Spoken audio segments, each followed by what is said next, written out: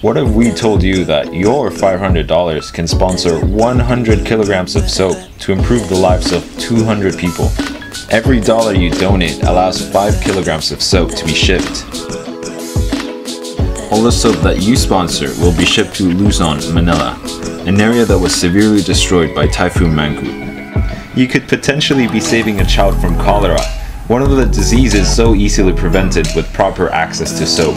Want to do more than just donating? Join us in our volunteer sessions where you can get to see how soap was recycled with soap cycling. The soap you sponsored will restore the basic right of access to sanitation. Be a superhero.